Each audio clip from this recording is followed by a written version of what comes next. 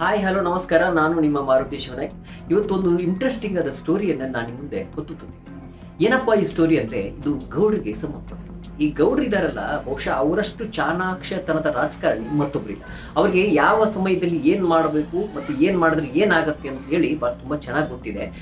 ಬಹುಶಃ ಅವರಷ್ಟು ರಾಜ್ಯವನ್ನ ಸುತ್ತಿದವರು ಇಲ್ಲ, ಜನರ ನಾಡಿ ಮಿಡಿತವನ್ನ ಅರಿತವರು ಇಲ್ಲ. ಸೊ ಇವತ್ತು ಗೌಡ್ರದೊಂದು ಸ್ಪೆಷಲ್ ಸ್ಟೋರಿ ಇದೆ. ನೋಡ್ಕೊಂಡು ದೇವೇಗೌಡರಂದ್ರೆ ರಾಜಕೀಯ ರಾಜಕೀಯ ಅಂದ್ರೆ ದೇವೇಗೌಡ. ಬಹುಶಃ ರಾಜ್ಯದಲ್ಲಿ ರಾಜಕೀಯ ದಾಳ ಉಡಿಸೋದ್ರಲ್ಲಿ ಗೌಡರನ್ನ ಮೀರಿಸೋರಿಲ್ಲ. ಅವರು ಏನೇ ಮಾಡಿದರೂ ಲೆಕ್ಕಾಚಾರ ಹಾಕಿಯೇ ಮಾಡ್ತಾರೆ. ಅಷ್ಟಿಲ್ಲದೆ ಅವರು ಕಳೆದ ಐದಾರು ದಶಕಗಳಿಂದ ರಾಜ್ಯ ರಾಜಕೀಯದಲ್ಲಿ ಪ್ರಸ್ತುತರಾಗಿ ಉಳಿದಿರಲಿಲ್ಲ. ನಿಜಲಿಂಗಪ್ಪ ಅರಸೂರಿಂದ ಹಿಡಿದುಕೊಂಡು ಸದ್ಯದ ಬಸವರಾಜ ಬೊಮ್ಮಾಯಿವರೆಗೂ ಅವರು ಎಲ್ಲರೊಂದಿಗೂ ಎಲ್ಲ ಪ್ರಸಂಗಗಳಲ್ಲೂ ತಮ್ಮ ರಾಜಕೀಯ ಚಾಣಾಕ್ಷತನ ಮೆರೆದಿದ್ದಾರೆ. ಅಂತ್ಯ ಇದೀಗ ಚುನಾವಣಾ ಹೊತ್ತಲ್ಲಿ ಗೌಡರು ಹೊಸ ದಾಳ ಹೊರಡಿಸಿದ್ದಾರೆ. ಅಷ್ಟಕ್ಕೂ ಏನಿದು ಹೊಸ ದಾಳ ಅಂತೀರಾ? ಇಲ್ಲಿದೆ ಸ್ಟೋರಿ ಸದ್ಯ ರಾಜ್ಯ ಎರಡ್ ಸಾವಿರದ ಇಪ್ಪತ್ತ್ ಮೂರರ ರಣಕಣಕ್ಕೆ ಅಣಿಯಾಗ್ತಿದೆ. ಮೂರು ಪಕ್ಷಗಳು ಸಹಜವಾಗಿ ಎಲೆಕ್ಷನ್ ಅತ್ತ ಚಿತ್ತ ನೆಟ್ಟು ಸಿದ್ಧತೆಯಲ್ಲಿ ತೊಡಗಿವೆ.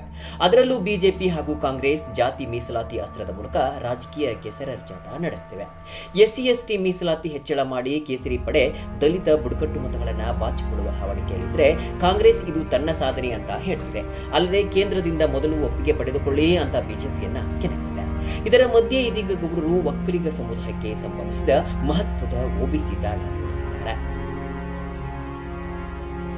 ಅಂದಹಾಗೆ ಅನಾರೋಗ್ಯದಲ್ಲಿದ್ದರೂ ಗೌಡರು ದೆಹಲಿಗೆ ದೌಡಾಯಿಸಿದ್ದು ವೀಲ್ ಚೇರ್ ಮೇಲೆಯೇ ಸಂಸತ್ ಅಧಿವೇಶನದಲ್ಲಿ ಭಾಗಿಯಾಗಿದ್ದಾರೆ. ತೊಂಬತ್ತು ಪ್ಲಸ್ ವಯಸ್ಸಾಗಿದ್ದರೂ ಗೌಡರ ಈ ಚೈತನ್ಯವೇ ರಾಜಕೀಯ ವಿರೋಧಿಗಳನ್ನ ದಂಗು ಬಿಡಿಸಿದೆ ಕಳೆದ ನಾಲ್ಕೈದು ದಿನಗಳಿಂದ ಕೊರೆಯುವ ಚಳಿಯಲ್ಲಿಯೇ ಅಧಿವೇಶನದಲ್ಲಿ ಕಾಣಿಸಿಕೊಂಡಿರುವ ಗೌಡರು ಕುಂಚಟಿಗರ ಪರ ದೊಡ್ಡ ದಾಳ ಉಳಿಸಿದ್ದಾರೆ ಒಕ್ಕಲಿಗ ಸಮುದಾಯದಲ್ಲಿಯೇ ಉಪಪಂಗಡವಾಗಿರುವ ಕುಂಚಟಿಗ ಒಕ್ಕಲಿಗರನ್ನ ಕೇಂದ್ರ ಒಬಿಸಿ ಪಟ್ಟಿಗೆ ಸೇರಿಸಿ ಅಂತ ಖುದ್ದು ಪ್ರಧಾನಿಯನ್ನ ಭೇಟಿಯಾಗಿ ಒತ್ತಾಯಿಸಿದ್ದ.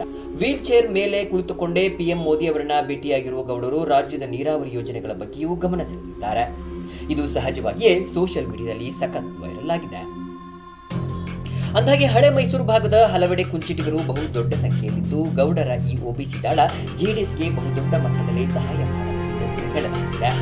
ಅಲ್ಲದೆ ಡಿಕೆ ಶಿವಕುಮಾರ್ ಮೂಲಕ ಕುಂಚಿಟಿಗರಿಗೆ ಗಾಳ ಹಾಕುತ್ತಿದ್ದ ಕಾಂಗ್ರೆಸ್ ಇದರಿಂದ ಹೊಡೆತ ಎನ್ನಲಾಗಿದೆ ಜತೆಗೆ ಕೆಂಪೇಗೌಡರ ಪ್ರತಿಮೆ ಸ್ಥಾಪನೆ ಮೂಲಕ ಒಕ್ಕಲಿಗರನ್ನ ಒಲಿಸಿಕೊಳ್ಳಲು ಹೊಂದಿದ್ದ ಕೇಸರಿ ಪಡೆಗೂ ಸಹಜವಾಗಿಯೇ ಇದರಿಂದ ಹಿನ್ನಡೆಯಾಗಲಿದೆ ಎಂದು ವಿಶ್ಲೇಷಿಸಲಾಗುತ್ತಿದೆ ಕುಂಚಟಿಗೆ ಸಮುದಾಯ ಅಷ್ಟು ದೊಡ್ಡ ಸಮುದಾಯ ಅಲ್ಲದಿದ್ದರೂ ಕನಿಷ್ಠ ಹತ್ತರಿಂದ ಹದಿನೈದು ವಿಧಾನಸಭಾ ಕ್ಷೇತ್ರಗಳಲ್ಲಿ ಅವರು ನಿರ್ಣಾಯಕರಾಗಿದ್ದಾರೆ.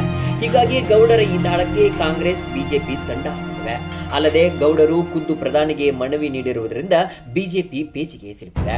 ಒಟ್ಟಿನಲ್ಲಿ ಸದ್ದಿಲ್ಲದೆ ಒಬಿಸಿ ಅಸ್ತ್ರ ಪ್ರಯೋಗಿಸಿರುವ ಗೌಡರು ಜೆಡಿಎಸ್ನಲ್ಲಿ ಮತ್ತೆ ಒಕ್ಕಲಿಗರ ಅಸ್ಮಿತೆಯನ್ನ ಅರಳಿಸುತ್ತಿದ್ದಾರೆ. Bureau report NK news.